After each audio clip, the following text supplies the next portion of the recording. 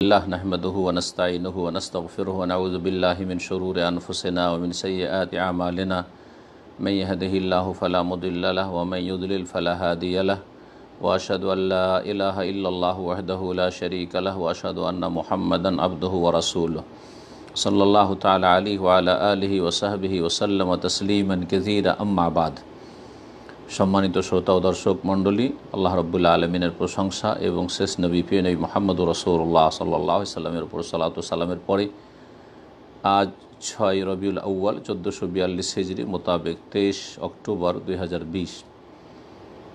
জুমাবার মসজিদুল হারামে যে জুমার খুদ্া প্রদান করেছেন সম্মানিত শেখ ডক্টর মাহির বিন হামদ আল মোয়াইকদি হাফিজাহুল্লাহ তালা খুদ্বার বিষয়বস্তু হচ্ছে যে মহান আল্লাহ রব্বুল আলমিন, তিনি অত্যন্ত লজ্জাশীল বা পরম লজ্জাশীল হাইয়ুন সিত্তিরুন, এবং তিনি মানব জগতের দোষ ত্রুটিকে ঢেকে রাখেন। আল্লাহ রব্বুল আলমিনের প্রথম প্রশংসা পেশ করেছেন যিনি সমস্ত কিছুকে তার জ্ঞান দ্বারা পরিব্যাপ্ত, সামিল করেছেন এবং সব কিছুকে শরীরধারিত করেছেন, সুপরিমিত করেছেন এবং সমস্ত সৃষ্টিকুলের ওপর পূর্ণ নেয়ামত দান করেছেন। আল্লাহ রবুল আলমিনের শুক্রিয়া আদায় করি, আল্লাহর প্রশংসা করি, তার কাছে তবা করি, তার কাছে তবা ইস্তেকফার করি। এবং সাক্ষ্য প্রদান করি যে আল্লাহ ছাড়া কোনো সত্য মাবুদ নেই, তার কোনো শরিক নেই, তিনি একই একক। এবং সাক্ষ্য প্রদান করি যে আমাদের নবী মোহাম্মদ সাল্লাহ সাল্লাম, যিনি আল্লাহর বান্দা এবং তার রসুল। যাকে আল্লাহ রব্বুল্লা আলমিন সমস্ত মানব জাতির উদ্দেশ্যে রসুল করে প্রেরণ করেছেন, যাতে করে তাদের ওজোর অজুহাতকে শেষ করে দেওয়া হয়। কোনো অজুহাত না থাকে যে আমরা জানতাম না, যাতে মানব জাতিকে সতর্ক করা সম্ভব হয়। তার উপর অসংখ্য সালাত সালাম নাজেল হোক তার পরিবার পরিজনের ওপর এবং তার সাহাবাই কেরামগণের ওপর। এবং তার সাথে কেমত পর্যন্ত যারা তাদের অনসারী হবেন, নিষ্ঠার সাথে তাদের ওপরও শান্তিধারা বর্ষিত হোক। অতপর বলছেন যে মা আশের আল মেনিন হে মমিনগণ, আমি নিজেকে এবং আপনাদেরকে উপদেশ দান করছি আল্লাহ ভীরুতার। তাকু আল্লাহ যে ব্যক্তি আল্লাহকে ভয় করে, তাকে আল্লাহ রব্বুল আলমিন রক্ষা করেন। এবং যেই ব্যক্তি নিজের দোস্তুটিকে ঢেকে রাখে, যেহেতু আল্লাহ ঢেকে রেখেছেন, আল্লাহও ঢেকে রাখেন। এবং আল্লাহ তাকে নিরাপদ করেন। আল্লাহ রাব্বুল আলমিনের ভয় ভীতি তাকুয়া সর্বোত্তম ওসিয়ত আল্লাহ রব্বুল আলমিনের। এবং উৎকৃষ্ট পোশাক এবং সর্বোত্তম চরিত্র। মহান আল্লাহ ইরশাদ করেছেন ওত্তাকু ইয়ৌমন্তুর জাউন আফিহে আল্লাহ সর্বশেষ আয়াত নাজিল হয় কোরআনী করিমের। তোমরা সেই দিনকে ভয় করো যেই দিন তোমরা প্রত্যাবর্তিত হবে আল্লাহ রব্বুল আলমিনের কাছে। সোম্মা তোয়াফা কুল্ল নফসি মা কাসাবাত অহমুল আয়ুদুলমন অতপর প্রত্যেক ব্যক্তিকে পূর্ণরূপে তাদের কৃতকর্মের প্রতিদান দেওয়া হবে। কোনো রকমের অবিচার তাদের সাথে করা হবে না। হে মুসলিম ওম্মা আল্লাহ রাবুল আলমিনের বড় একটি নিয়ামত হচ্ছে যে তিনি মানব জাতির দস্তুটিকে ঢেকে রাখেন। মানব জীবনে কোনো শান্তি আসতে পারে না যদি দস্তুটি ঢাকা না থাকে। মানুষ সুখ শান্তি পেতে পারে না। এটি হচ্ছে একটি শোভা সৌন্দর্য, যার মাধ্যমে মুসলিম উম্মার সুরক্ষা হয়ে থাকে এবং তাদের পরস্পর সম্পর্ক অটুট হয়ে থাকে। হে আল্লাহর বান্দারা এই আল্লাহ রাব্বুল আলমিনের পক্ষ থেকে দোস্তুটি ঢেকে রাখা। এটি এমন একটি গুরুত্বপূর্ণ বিষয় যে মানুষের দোস্তুটি হলে আল্লাহ রব্বুল আলমীর ঢেকে রাখেন। সেই দোস্তুটি কথার ক্ষেত্রে হোক, কাজকর্মের ক্ষেত্রে হোক, বাহ্যিক হোক অথবা আভ্যন্তরীণ হোক। আমাদের রব আল্লাহ রব্বুল আলমিন তিনি অত্যন্ত লজ্জাশীল এবং তিনি মানুষের দোস্তুটি ঢেকে রাখেন। এই মর্মে সোনানে আবু দাউদের হাদিস রয়েছে রসুল্লাহ সাল্লাহ সাল্লাম বলেন ইন ইন্নআল্লাহ আজ্জাওয়াজাল হাইয়ুন সিত্তিরুন ইহিবুল হায়া ও সিত্র। নিশ্চয় আল্লাহ রব্বুল আলমিন তিনি হাইয়ুন পরম লজ্জাশীল, খুব লজ্জা করেন। সিত্তিরুন, আল্লাহর নাম হচ্ছে সিত্তির। আমার দেশের মানুষরা সাত্তার বলে থাকে আব্দুল সাত্তার রাখে।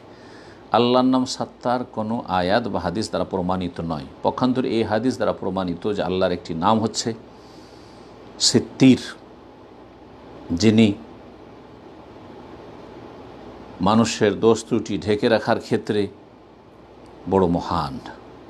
ইহেব্বুল হায়া, যিনি লজ্জাকে পছন্দ করেন, ভালোবাসেন এবং ঢেকে রাখা আল্লাহ ঢেকে রাখেন, সুতরাং একজন মানুষ অপরের দোস্তুটি ঢেকে রাখবে, এটাও আল্লাহ ভালোবাসেন।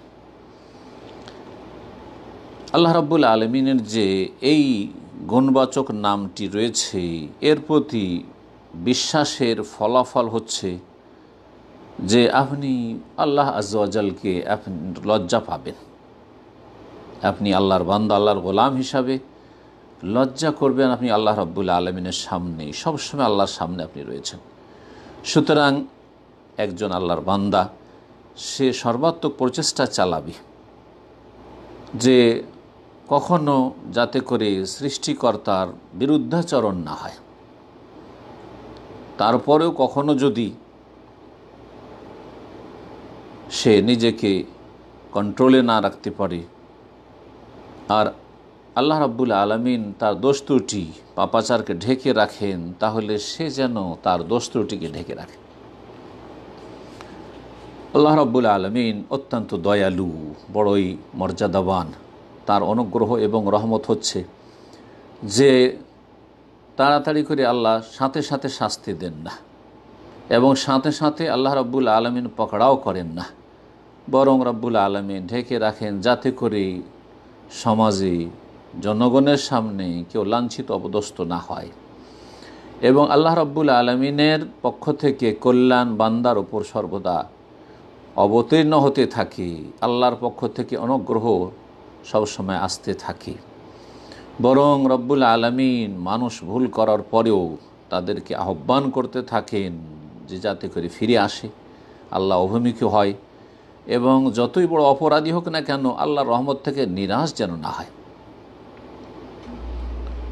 এবং রব্বুল আলমিন তার বান্দাদেরকে ডাকেন যে, এসো, তওবা করো।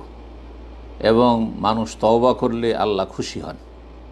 আল্লাহ রব্বুল আলমিন তওবাকারীদেরকে বড় পছন্দ করেন।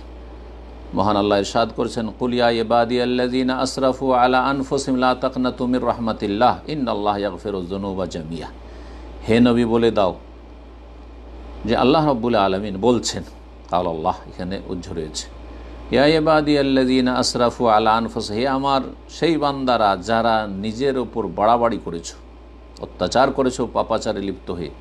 লা তাকনা তুমির রহমাতিল্লাহ, আল্লাহর রহমত থেকে নৈরাশ হইও না। ইন আল্লাহ ফেরোজনুবাজামি নিশ্চয়ই আল্লাহ রব্বর সমস্ত গোনা ক্ষমা করতে পারেন। যাকে চাইবেন আল্লাহ ক্ষমা করবেন। যার অন্তরে আল্লাহ সততা এখলাস দেখবেন আল্লাহ ক্ষমা করবেন। ইন্নাহু হু আল গফুর রাহিম। কারণ তিনি হচ্ছেন বড় মার্জনাকারী আর পরম দয়ালু। পিয়ানবী মোহাম্মদ সাল্লাহ আলি সাল্লামের সিরাত জীবনী সম্পর্কে কেউ যদি গভীরভাবে চিন্তা করে দেখে, তাহলে সে উপলব্ধি করতে পারবে যে রসুল্লাহ সাল্লা সাল্লাম মানুষের দোষ ত্রুটি ঢেকে রাখার ক্ষেত্রে অত্যন্ত উদ্গ্রীব ছিলেন। রসুল্লাহ সাল্লাহ আলী আসাল্লামের সামনে কেউ যদি নিজের দোষ ত্রুটি প্রকাশ করতে আসত, তো বলতেন যে ঢেকে রাখো, আল্লাহ ঢেকে রেখেছেন। এবং এর জন্য উৎসাহিত করতেন। যেমন মায়েজবিনে মালিক আল্লাহ সাল্লামী রাজি আল্লাহ তালা আনহু থেকে যে ব্যবিচার অপরাধ হয়েছিল, তার ঘটনার ক্ষেত্রে রয়েছে যে রসুল্লাহ সাল্লাহ সাল্লামের সামনে এসে সে স্বীকারোক্তি পেশ করছে। রসুল্লাহ সাল্লাহ সাল্লাম মুখটা অন্যদিকে ফিরিয়ে নিচ্ছে আবার সামনের দিকে গিয়ে আবার সে স্বীকার করছে। সে অশ্লীলতায় লিপ্ত হয়েছে এ কথা অঙ্গীকার করছে। নবী সাল্লা সাল্লাম বলেন আইহান নাস, হে মানব সকল, কাদ আন আলাকুম আন্তান্তাহু আন হদুদিল্লাহ। তোমাদের সময় এসে গেছে যে আল্লাহর যে নির্ধারিত সীমারেখা রয়েছে, সেখানে তোমরা থেমে যাবে, বর্ডার ক্রস করবে না। মান আসাবামিন হাজহিল কাজুর আতে শাইয়ান ফালিয়াস্তাতির বেসিত্রিল্লাহ। কেউ যদি এই রকম কোনো নোংরামিতে লিপ্ত হয়ে যায়, তাহলে আল্লাহ যদি ঢেকে রেখে থাকেন, তাহলে তার উচিত হবে নিজের দোষ দুটি ঢেকে রাখা। রসরুল্লাহ সাল্লামের কাছে এরকম অপ্রীতিকর কোনো খবর পৌঁছিলে, তিনি ইশারা ইঙ্গিতে বলতেন, নাম উল্লেখ করতেন না। ঢেকে রাখতেন, মানুষকে অপদস্থ করতেন না। ব্যক্তি জীবনের দোষ ত্রুটির ক্ষেত্রে বলতেন, এভাবে মা বাল ও আকোয়ামিন ইয়াকুলু না কাদা ওয়া কাদা কিছু লোকের কি হয়েছে যে তারা এই ধরনের কথা বলে থাকে, তারা এই ধরনের কাজ করে থাকে। সহি মুসলিমে হাদিস রয়েছে, ইবনে মাসুদ রাজি আল্লাহ তালাহ থেকে বর্ণিত। বলছেন তিনি, যা আরাজুল নবী সাল্লাহ আলী সাল্লাম জনৈক ব্যক্তি নবী সাল্লামের কাছে আগমন করল। এসে বলল, ইয়া রসুল আল্লাহ ইয়া আল্লাহ রসুল, ইন্নি আলাজ তো ইমরাতন ফিয়াকসাল মদিনা মদিনার এক প্রান্তে আমি একটি মহিলাকে স্পর্শ করে ফেলেছি। ওয়াইনি আসাবত মিনহা মাদুনান আমার সাহা আর আমি সহবাস ছাড়া, তার সাথে ব্যবিচার ছাড়া সব কিছু করে ফেলেছি। অর্থাৎ শরীরে হাত দিয়েছে না জায়জভাবে তারপরে এসে নিজেই স্বীকার করছেন, কোনো পুলিশ প্রশাসন নেই, কেউ ধরে নিয়ে আসছে না। ফা আনা হাজা, আমি এই হাজির। ফখজে ফিয়া মাসিদ আপনি এখন যা ইচ্ছা সেই ফয়সালাই করুন। আমি দুনিয়ার শাস্তি নিতে চাই পরকালে শাস্তি নিতে চাই না জাহান্নামের। ফকাল আল্লাহ ওমর ওমর রাজি আল্লাহ তালানু বলছেন, ওই লোকটিকে লাকাত সাতারাক আল্লাহ রে আল্লাহ তোমার দোস্তুটিকে ঢেকে রেখেছিলেন। লাউ সাতারতা নফসাক, তুমিও যদি ঢেকে রাখতে আর না বলতে, সেটাই ভালো হইত। বলছেন, ফালাম ইয়ারুদ্দান নবী সাল্লাম সাইয়ান রসুল্লাহ সালাম কিছুই বললেন না। এ কথা শুনে নীরব থেকে গেলেন। ফাঁকামার রাজল, সেই লোকটি নিরাশ হয়ে যে কিছু তো উত্তর পেলাম না। ফান্তালাকা, সে দাঁড়াল আর তারপরে টান দিল। ফাত বাহন নবী সরাজুল্লান্দা আহু নবী সাল্লাম তখন একজন লোককে পাঠিয়ে দিলেন যে, ডাকো ডাকো, লোকটিতে চলে গেল, ডাকো। ওহি নাজল হয়েছে। ওতালা আলী হাজহিল আয়া, এই আয়াতটি পাঠ করে শোনালেন। ওয়াকিমে সলাত তরফা ইন্নাহারে ওজলাফা মিনাল্লাইল ইন্নাল হাসানাত ইউজহিবিন সৈয়াত জালিকা জিকর আলী জাকেরিন হে মুসলিম সলাৎ কায়েম করো। দিনের দুই দিকে সকাল, বিকাল। অজুলাফামিনাল্লাহ রাতের কিছু অংশে পাঁচ অব্দ সালাতের দিকে এই দুটো বাক্য দিয়ে বা দুটো শব্দ দিয়ে ইঙ্গিত করে। তরফাইন নাহার, দিনের দুই পাশে মানে ফজর আর জোহর আসর। সকালবেলা ভোর হয়, শুভ সাদেক হওয়ার পরে ফজর সালাত। আর দিনের আর প্রান্তে জাওয়ালের পরে জোহর এবং আসরকে বোঝানো হয়েছে। ওজুল্লাফামিনাল্লাহ রাতের কিছু অংশে মানে মাগরেব এবং এশা। এইভাবে কোরআনে করিম আল্লাহ রব্বুল আলমিন একাধিক আয়াতে ইশারা, ইঙ্গিতে পাঁচ অক্তের কথা বর্ণনা করেছেন। পাঁচ শব্দটি কোরআনে করিমে নেই। তবে রসুল্লাহ সাল্লাহ ইসলামের বহু হাদিস রয়েছে, তার মধ্যে প্রসিদ্ধ হাদিস মেয়েরাজের হাদিস। ইন্নাল হাসানাত ইউজ হবে না সাইয়াত তোমরা সালাত কায়েম করো দিনে পাঁচ অক্ত।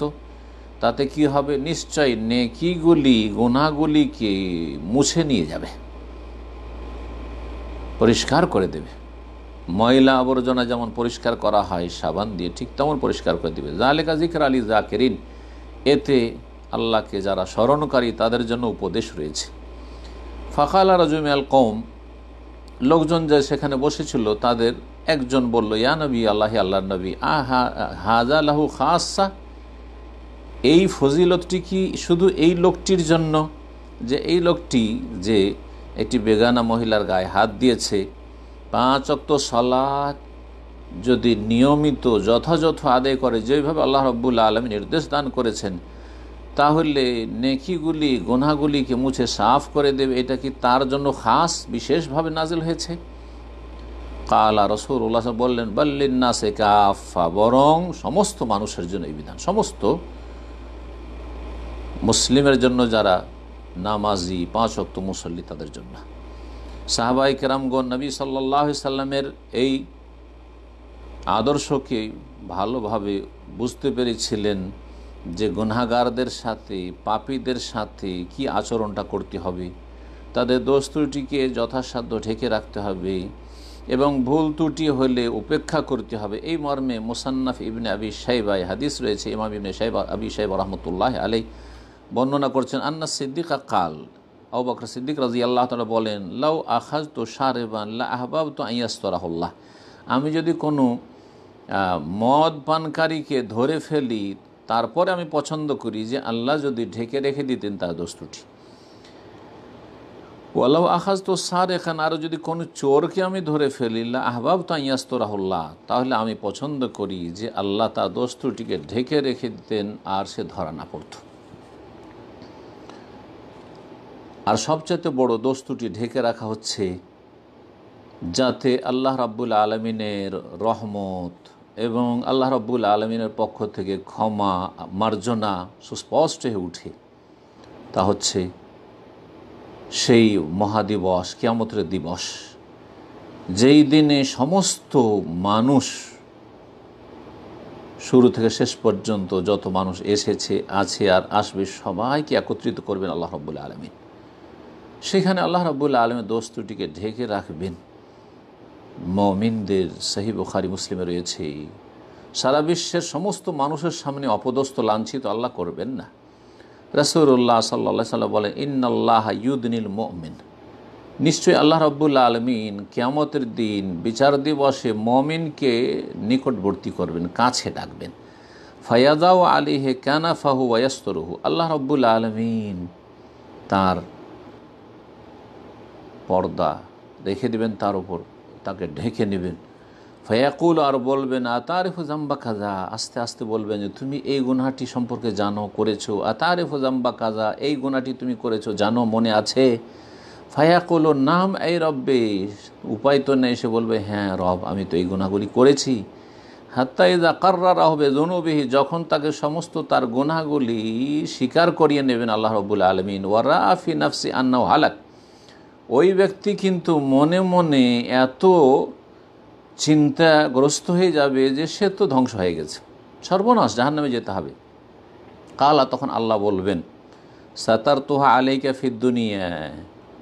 ইহ জগতে, দুনিয়াতে তোমার দোষ ত্রুটিগুলি আমি ঢেকে রেখেছিলাম।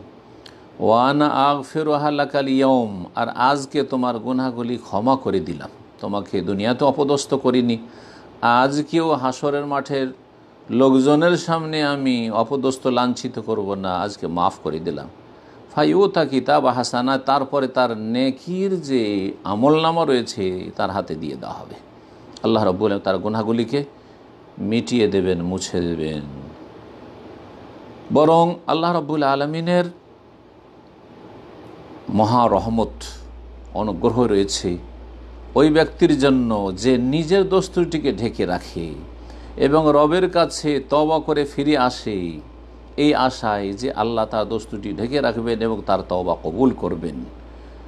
তার সাথে সাথে তার গুনাগুলিকে নেকিতে রূপান্তরিত করে দেন। শুধু আল্লাহ ক্ষমা করেন না, শুধু দোস্তুটিকে ঢেকে রাখেন না, বরং গোনাগুলিকে পাপগুলিকে নেকিতে বদলে দেবেন। সেই মুসলিম এই মর্মে হাদিস রয়েছে আবুদার রাজি আল্লাহ তালান বর্ণিত। রসুল্লাহ সাল্লাহ সাল্লাম বলেন জাকারা রসুল্লাহ সাল্লাহ একজন লোকের কথা বর্ণনা করেন। ইউতাবেহি অমল কেয়ামতের দিন তাকে নিয়ে আসা হবে বিচার দিবসে। ফাইও কালু আর তারপরে ফেরেস্তাদেরকে বলা হবে, এ রজু আলি সেগারা জুনুবি তার ছোট গুনাগুলি আগে তার সামনে পেশ করো আর তাকে স্বীকার করাও। ওয়ারফাউ আনহো কিবা রাহার বড় বড় গোনাগুলি উঠিয়ে রাখো। যে তার সামনে পেশ করিও না।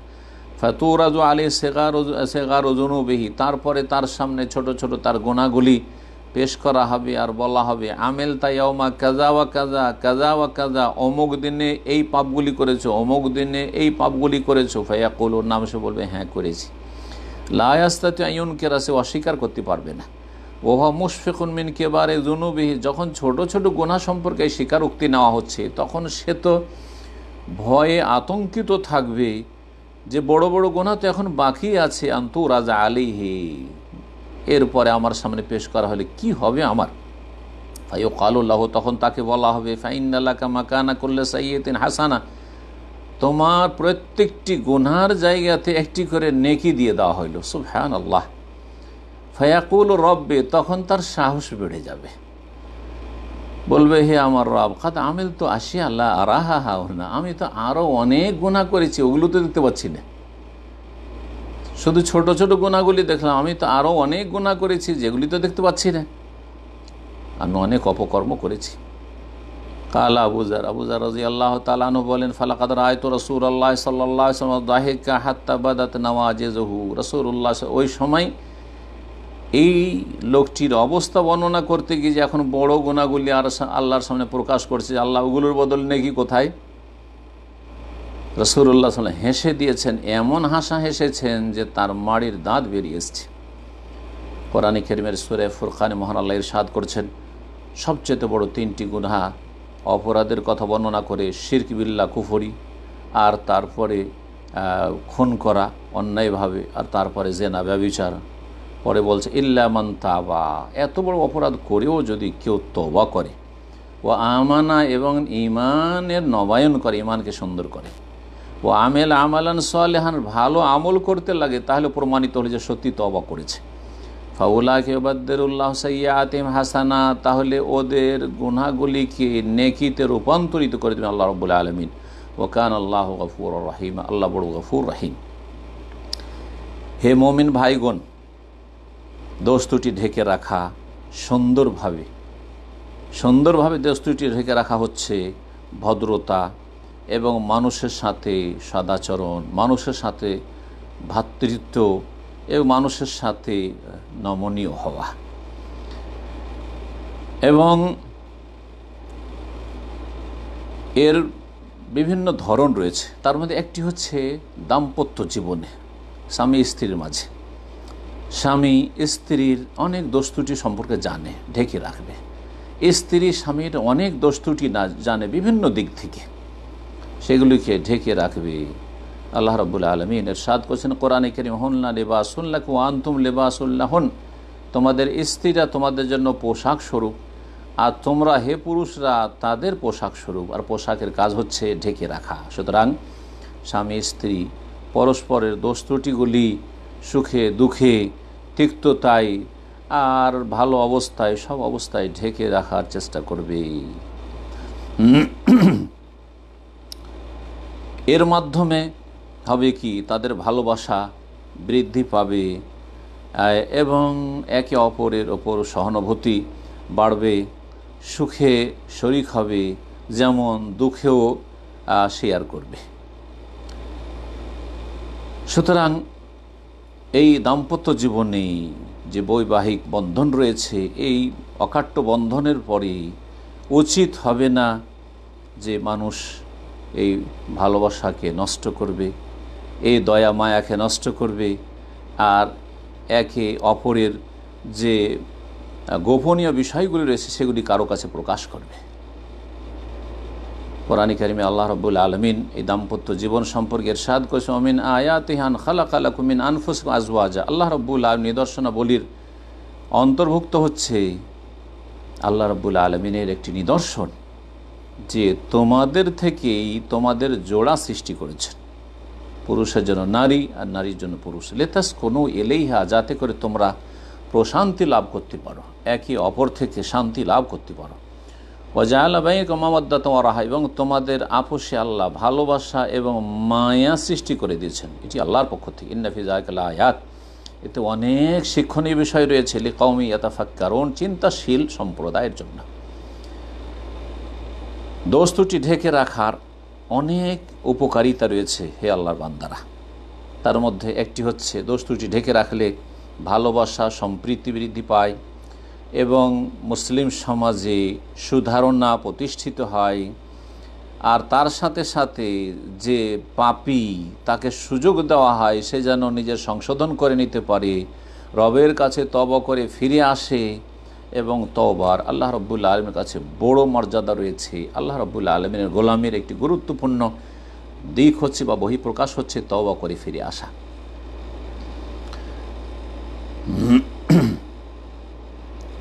পক্ষান্তরে কেউ যদি মন্দ কথার প্রচার প্রসার করে এবং যেসব পাপ মানুষকে ধ্বংস করে, সেগুলি মানুষ সমাজে ছড়িয়ে দেয়, তাহলে তাদের জন্য কঠোর শাস্তির কথা আল্লাহ রব্বুল্লা আলমিন বর্ণনা করেছেন কোরআনী করিমে ইহকাল পরকালে। মহান আল্লাহ সাদ করেছেন, এই মর্মে সুরায় নূরে ইন্নাল্লাদিন হেব্বুন আন্তাশি আল ফাহিসাতুফিল্লাদিন আমানু লাহম আজাবুন আলিমুন ফিদ্দুনিয়া ওয়াল আখের আল্লাহ আলম আন্তুমলা তালামুন নিশ্চয়ই যারা পছন্দ করি, যে মমিন মুসলিম সমাজে অশ্লীলতা ব্যাপক আকার ধারণ করুক, অশ্লীলতার কথা ছড়িয়ে পড়ুক, সবাই জানুক যে অশ্লীলতা হচ্ছে। তাদের জন্য আজাবুন আলী মর্মান্তিক শাস্তি রয়েছে ফিদ্দুনিয়াওয়ালা আখেরা, ইহকাল পরকালে। আল্লাহ আলমান তুমলা আল্লাহ ভালো জানেন, তোমরা তেমন কিছু জানো না। বলছেন সম্মানিত ইমাম, যে কেউ যদি এটা শুধু অন্তর থেকে, মন থেকে পছন্দ করে যে মুসলিম সমাজে অশ্লীল কথা, অশ্লীল কাজ ছড়িয়ে পড়ুক, তাতেই যদি কঠোর শাস্তি থাকে, ইহকাল পরকালে তাহলে যারা এই কাজটি হাতে নাতে করে, অশ্লীলতাকে ছড়ায়, অশ্লীলতার কথা মানব সমাজে বলে বেড়ায়, তাদের জন্য কত শাস্তি রয়েছে? ইমাম বখারি রাহমাহুল্লার কিতাব রয়েছে, একটি আলাদাবুল মুফরাদ। তাতে রয়েছে, কানা ইকালো মান সামিয়া বে ফাহেসাতিন ফা আফসাহা ফাহু আফিহা কাল্লাজি আবদাহা যেই ব্যক্তি কোনো অশ্লীল কথা, কাজের কথা শুনল কারও সম্পর্কে, আর তারপরে সেটাকে ছড়িয়ে দিল সমাজে, প্রকাশ করে দিল ফাহু আফিহা কাল্লে আবদাহা সেই ব্যক্তি ওই লোকের মতো, যেই ব্যক্তি এই পাপকে প্রকাশ করেছে সমাজে। সুতরাং কোনো পাপের কথা শুনলে সহজে সেটা যেখানে সেখানে বলতে নেই, প্রকাশ করতে নেই, যদি সেখানে ইসলাম এবং মুসলিমের কল্যাণ না থাকে। এর চাইতে বড় বিষয় হচ্ছে আল্লাহর বান্দারা যে যেই ব্যক্তি আল্লাহ রব্বুল আলমিনের রহমত থেকে এবং আল্লাহ রব্বুল আলমিনের মার্জনা থেকে যে বিতাড়িত হওয়ার ঝুঁকি সে নিল।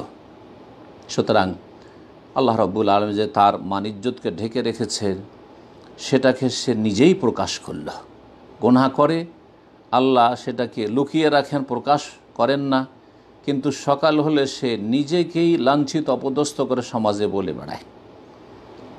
এই ব্যক্তি আল্লাহর রহমত থেকে বঞ্চিত, আল্লাহর পক্ষ থেকে ক্ষমা থেকে বঞ্চিত। এমাইবুল কাইম রহমতুল্লাহ আলাই বলছেন গোনা এবং পাপাচারের যে ভয়াবহ দিকগুলি রয়েছে, সেগুলির একটি হচ্ছে যে ইন্নাহ ইয়ানসালেখ মিনাল কালবি ইস্তেক বাহু হোহা গুনহা মানুষ যখন করতে থাকে, তখন অন্তরে গুনহার ঘৃণা থাকে না, ঘৃণা কমে যায়। পাপকে পাপ, অপরাধকে অপরাধ মনে হয় না। ফাতাসির আলহ আদা, সেটি তার অভ্যাসে পরিণত হয়ে যায়। সুতরাং তারপরে ধীরে ধীরে মানুষ দেখলেও তাকে খারাপ লাগে না। আর মানুষ কোনো কথা বললেও খারাপ লাগে না, বরং সে মানুষের সামনে নিজেই বলে বেড়া হাত্তা আফতাখেরা আহাদম্বিল মাসিয়া। পাপ করে নিজেই গৌরব করে যে আমি এই করতে পেরেছি, সেই করেছি। যা লোকজন জানতো না, সে সব কথা সে বর্ণনা করে বেড়ায় যে সে এই কাজ করেছে, সেই কাজ করেছে। এই শ্রেণির লোক এমন খারাপ লোক যাদেরকে আল্লাহ পাপমুক্ত করেন না। এবং তাদের সামনে তবার রাস্তাকে আল্লাহ বন্ধ করে দেন।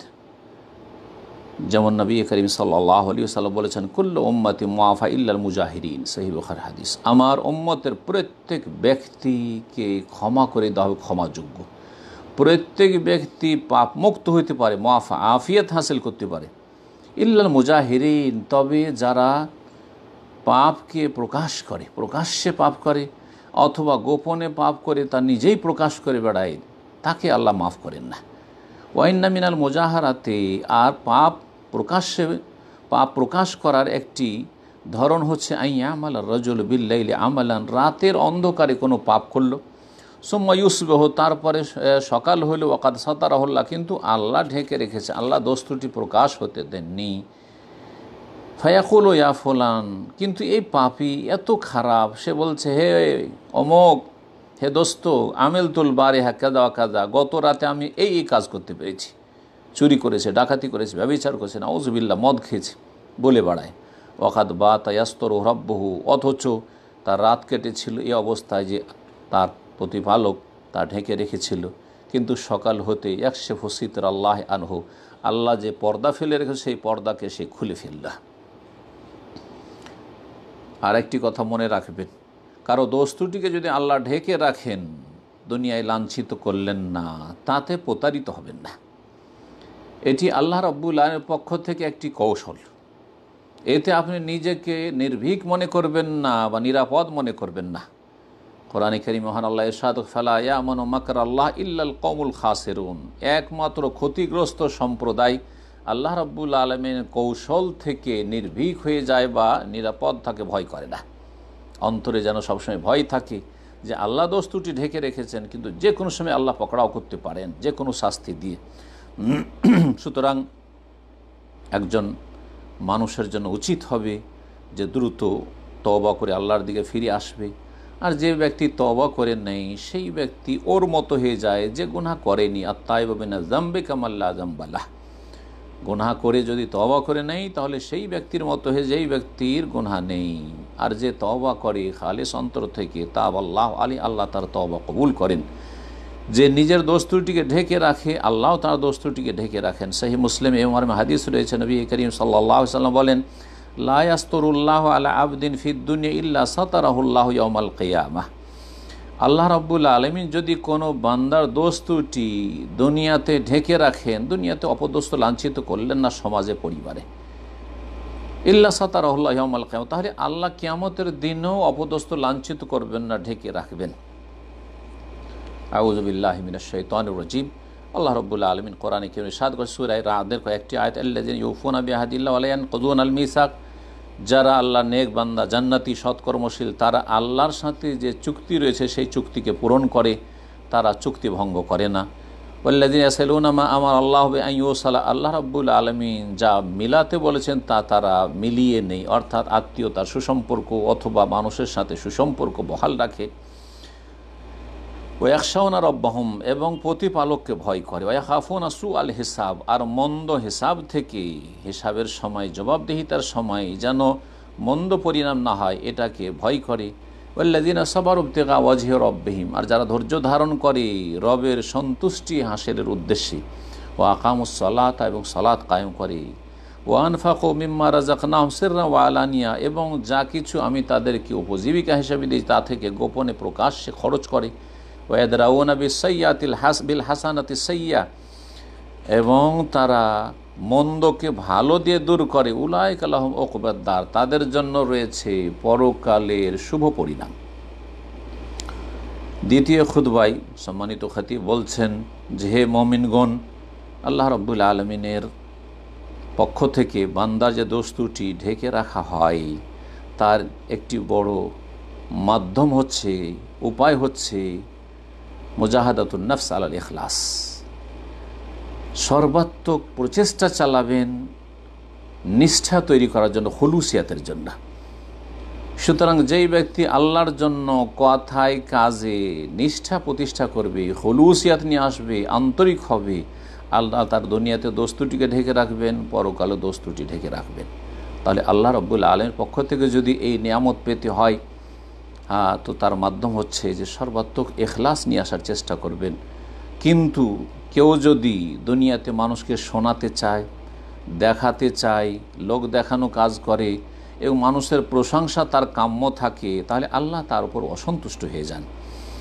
আর তার অন্তরে যে এই পাপগুলি, লোক দেখানো, লোককে শোনানো এবং লোকের প্রশংসা কামনা এই পাপগুলি যে লুকায়িত আছে, সেগুলিকে আল্লাহ প্রকাশ করে দেন, মানুষকে জানিয়ে দেন। সহি বখারি মুসলিমে হাদিস রয়েছে, কালা রসুল্লাহ সাল্লাহ আলী রসুল্লাহ বলেন, মান সাম্মা সাম্মা আল্লাহ বেহি। কেউ যদি মানুষকে শোনাতে চায়, আল্লাহও তার কথা মানুষকে শুনিয়ে দিয়েই যথেষ্ট করেন, আর কিছু দিতে চান না। অমান রা রা আল্লাহ বেহি। কেউ যদি লোক দেখানো কাজ করে, তো আল্লাহ দেখিয়ে দিতে চান যে তোমাকে দেখেই নিক, চিনেই নিক, শুধু তোমাকে পরকালে কিছুই দেব না। এইরকমই আল্লাহ রব্বুল আলম বান্দার দোস্তুটি ঢেকে রাখবেন এর একটি মাধ্যম হচ্ছে যে আপনি অন্য অন্য মানুষ যারা আপনার আশেপাশে বসবাস করে, তাদের দোস্তুটি ঢেকে রাখার চেষ্টা করবেন যেমন কর্ম, তেমন ফল। আপনি যদি মানুষের দোস্তুটি ঢেকে রাখেন, তো আল্লাহ আপনার দোস্তুটি ঢেকে রাখবেন। সুতরাং আপনি যদি আপনার ভাই বেরাদর আত্মীয় স্বজন এবং মুসলিম ভাই বোনদের দোস্তুটিকে ঢেকে রাখেন, তাহলে আল্লাহ আপনার দোস্তুটি ঢেকে রাখবেন এমন সময়ে যখন আল্লাহ রব্বুল আলের পক্ষ থেকে দোস্তুটি ঢেকে রাখার এক ক্ষমার আপনি অত্যন্ত মুখাপেক্ষী হবেন। অর্থাৎ বিচার দিবসে। সেই বখারি মুসলিম হাদিস রয়েছে রসুল্লাহ বলেন, মান সাতার মুসলিম সাতার আল্লাহ ফিদ্দুনিয়াওয়ালা আখেরে কেউ যদি কোনো মুসলিমের দোস্তুটিকে ঢেকে রাখে, আল্লাহ তার ইহকাল পরকালে দোস্তুটিকে ঢেকে রাখবেন। আর বিশেষ করে আজকাল সোশ্যাল মিডিয়ার যুগে এর গুরুত্ব আরও বেশি বেড়ে যায়। এই সোশ্যাল মিডিয়ার ব্যবহারের ক্ষেত্রে অনেকেই সীমা লঙ্ঘন করে। এসবের অপব্যবহার করে। সুতরাং মানুষের ব্যক্তি জীবনের যেসব রহস্যজনক বিষয় রয়েছে বা গোপনীয় বিষয় রয়েছে, সেগুলির প্রচার প্রসার ঘটিয়ে থাকে। আর সারা বিশ্বে ছড়িয়ে দিয়ে থাকে। মানুষের দোষ খুঁজে বেড়ায়। এবং মানুষের অধিকার এবং স্বাধীনতার ক্ষেত্রে সীমা লঙ্ঘন করে। মনে রাখবেন, যেই ব্যক্তি কোনো ভাইয়ের, অন্য কোনো মানুষের দোষ ত্রুটিকে প্রকাশ করবে, আল্লাহ তার দোষ ত্রুটিকে প্রকাশ করে দেবেন। এমন কি বাড়িতেও যদি বসে থাকে তারপর তাকে লাঞ্ছিত, অপদস্থ করে ছাড়বেন। এ মর্মে সোনানে তিরমিজিতে ইবিন ওমার রাজি আল্লাহ তালা আনুমা থেকে বর্ণিত হাদিস রয়েছে সাইদা রসুল্লাহ সালাম মেম্বার রসুল্লাহ সালাম একদিন মেম্বারে চাপলেন ফানা দাবে সৌতিন রফি, উচ্চ স্বরে ডাক দিয়ে এই বক্তব্য পেশ করলেন, ইয়া মা শারমান ইল আসলাম আবিল ইসানি ওয়ালাম ইউফদিল ইমান ইল আকালবে হে ওই সব কথিত মুসলিমরা, যারা মৌখিক ইসলাম গ্রহণ করেছে, কিন্তু তাদের অন্তরে ইমান নেমে আসেনি।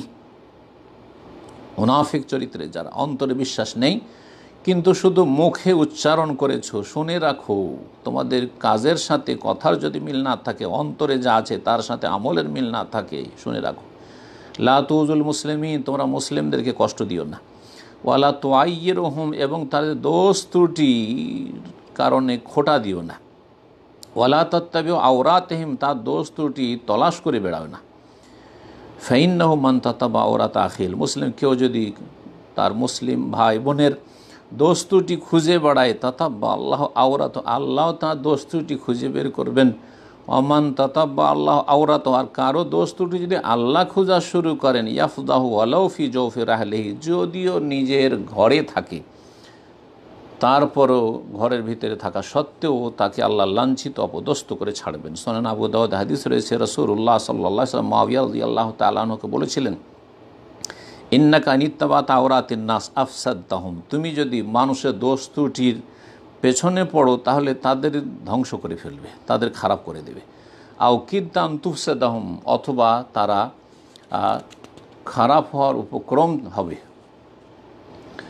আর বিশেষ করে সেটা যদি দুর্বল, অসহায়, যারা ছোট যে কোনো দিক থেকে তাদের ক্ষেত্রে হয়, তো এর গুরুত্ব আরও বেশি বেড়ে যায়।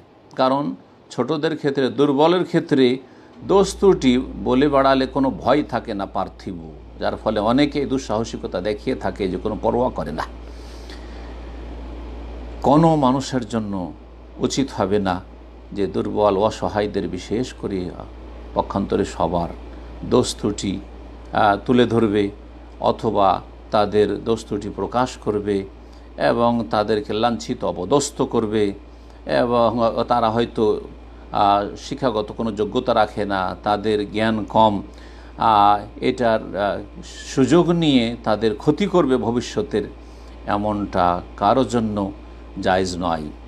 জেনে রাখবেন মমিনগণ, এতগুলি যে আলোচনা হইল, ওই সমস্ত লোকদের ক্ষেত্রে যাদের দোষ ত্রুটি অল্প স্বল্প রয়েছে, প্রথমবার, দ্বিতীয়বার, সামান্য দোষ করেছে, অনেক নেকির কাজ করে, অনেক ভালো মানুষ, কিন্তু সামান্য কিছু ভুল হয়ে গেছে, তাদের ক্ষেত্রে পক্ষান্তরে সম্মানিত ইমাম বলছেন, ইখওয়াত আল ইমান হে দিনী ইমানি ভাই বন্ধুগণ, আন্না মানিস তোহেরা বিল ফাসাদ ও শুরু তবে যেই ব্যক্তি ফিতনা, ফাসাদ এবং অনিষ্ট পাপে খ্যাতি লাভ করেছে, চরম পাপী, বহু রকমের পাপ করে, প্রখ্যাত চোর, প্রখ্যাত ডাকাত, খনি, চরিত্রহীন, লুচ্চা, এইরকম যারা ওরেফা বিল আজাওয়াল ফজুর, মানুষকে কষ্ট দেওয়াই, সবাই জানে সে মানুষকে কষ্ট দেওয়া তার স্বভাব। এবং সে জেনা, ব্যবিচার, সমকামিতায় লিপ্ত। এইরকম যাদের সম্পর্কে জানা হয়ে গেছে, মানুষ জানছে, তাদের ক্ষেত্রে তাদের দস্তুটি যদি ঢেকে রাখেন, তাহলে ফিতনা, ফাসাদ আরও বেড়ে যাবে, তারা আরও সীমালঙ্ঘন করবে। এই রকমই যেসব লোকদের অনিষ্ট সুদূর প্রসারী তাদের অনিষ্টের কারণে বহু লোক ক্ষতিগ্রস্ত হয়। যেমন চরমপন্থী যারা বিভ্রান্তির শিকার হয়েছে, জঙ্গি, খারেজি, এইরকম খারেজিদের পৃষ্ঠপোষক যারা আমাদের সার্বিক নিরাপত্তার জন্য ঝুঁকি এবং দেশের স্থিতি স্থিতিশীলতাকে তারা নষ্ট করে, তাদের জন্য দস্তুটি ঢেকে রাখা প্রযোজ্য নয়। তাদের ক্ষেত্রে আপনি দস্তুটি ঢেকে রাখবেন, তাদের সম্পর্কে নীরব থাকবেন, এটা মোটেই জায়জ হবে না। বলছেন বালিয়া জেব তাবলিগুল মসইলিন আনহম বরং তাদের সম্পর্কে দায়িত্বশীলদেরকে জানিয়ে দেওয়া আবশ্যক হবে এবং জনগণকে সতর্ক সাবধান করা ফরজ হবে, যাতে করে মানুষের জান, মাল, ইজ্জত, আবরুর হেফাজত করা যেতে পারে, দিনের হেফাজত করা যেতে পারে এবং দেশের এবং দেশের দেশবাসীর নিরাপত্তাকে নিশ্চিত করা যেতে পারে। আর এদের যদি কেউ গা ঢাকা দিয়ে রাখে, এদেরকে যদি, এদের দস্তুটি কেউ কেউ যদি লুকিয়ে রাখে, তাহলে তাদের সাথে তাদের অপরাধে তারাও জড়িত। এই মর্মে সহি মুসলিমের হাদিস পেশ করেছেন, বলছেন, নবী সাল্লাম বলে লান আল্লাহমান আওয়া মোহদেসান। আল্লাহ রব্বুল আলমিনের অভিসম্পাত লানত রয়েছে, রহমত থেকে বঞ্চিত করার ঘোষণা করেছেন। ওই সমস্ত ব্যক্তির ওপর যারা কোনো পাপিকে, সে বেদাতি মোহদেশ পাপি, বেদাতি পাপি হোক অথবা যে কোনো পাপি হোক, দুটোই ব্যাখ্যা করা হয়েছে এ হাদিস, লান আল্লাহমান আওয়া মোহদেসান আল্লাহ লানও তো রয়েছে ওই সমস্ত লোকের ওপর যারা কোনো বেদাতিকে অথবা কোনো অপরাধীকে আশ্রয় দিয়ে থাকে। নিজের বাড়িতে চোরকে, ডাকাতকে, খনিকে, ব্যবিচারকারীকে, জঙ্গিকে খারেজিকে এইরকমই কোনো বেদাতিকে সম্মান প্রদর্শন করে, বেদাতিকে আশ্রয় দিয়ে থাকে, বেদাতির আপ্যায়ন করে থাকে, তাদের উপর লানত রয়েছে। আল্লাহ রহমত থেকে বঞ্চিত করা ঘোষণা করেছেন। আল্লাহ রব্বুল্লা আলমিনের কাছে দোয়া করি যে আল্লাহ রব্বুল আলম যেন দুনিয়া এবং আখেরাতে আমাদেরকে নিরাপদ রাখেন। আল্লাহ ইন্দানা সালুকাল আফিয়াত ফি দুনিয়া ওয়াল আখের। আল্লাহ ইন্দানা সালুকাল আফু আল আফিয়া ফি দিনেনা ও দুনিয়ানা ও আহলেনা ও আমওয়ালেনা ও আল্লাহ মস্তর আউরাতেনা وآمن روعاتنا. اللهم احفظنا بين أيدينا ومن خلفنا وعن أيماننا وعن شمائلنا ومن فوقنا ونعوذ بأزمتك أن نغتال من تحتنا. اللهم صل على محمد وأزواجه وذريته كما صليت على آل إبراهيم وبارك على محمد وأزواجه وذريته كما باركت على آل إبراهيم إنك حميد مجيد. وارض اللهم عن الخلفاء الراشدين أبي بكر وعمر وعثمان وعلي وعن سائر الصحابة والتابعين ومن تبعهم بإحسان إلى يوم الدين. ওয়ান্না মাহম বি আফুকা ওয়া কারামিকা ওয়া জুদিকা ইয়া আরহামার রাহিমিন আল্লাহ আইজাল ইসলাম আল মুসলিমিন আল্লাহ ইসলাম মুসলিমকে আল্লাহ শক্তিশালী করো। ওয়াজিল্লা শিরক আল মুশরিকিন শিরক এবং মুশরিক কাফেরদেরকে লাঞ্ছিত অবদস্ত করো। ওয়াহমে হাউজাত দিন আল্লাহ রব্বুল আলমিন, তুমি তোমার দিনের হেফাজত করো। ওয়াজ আল হাজ আল ওয়ালাদ আমেনা মোতমাইন সাইর বিলাদিল মুসলিমিন। আল্লাহ, এই দেশ সৌদি আরবকে আল্লাহ রব্বুল্লাহ নিরাপদ করো এবং সমস্ত মুসলিম বিশ্বকে যে যেখানে মুসলিম বাস করে, আল্লাহ তাদের তুমি হেফাজত করো। এবং তাদেরকে নিরাপত্তা দান করো। আল্লাহ আসলে আহওয়াল মুসলিম ফিকুল্লে মাকান। মুসলিমদের অবস্থা ভালো করে দাও। যে কোনো জায়গায় পৃথিবীর আজাল জালাল আল ইকরাম। সুফহান রব্বিক রব্বিল ইজ্জাত আম্মা ইয়াসিফুন ওয়া সালামু আল মুরসালিন আলহামদুলিল্লাহ রব্বিল আলামিন।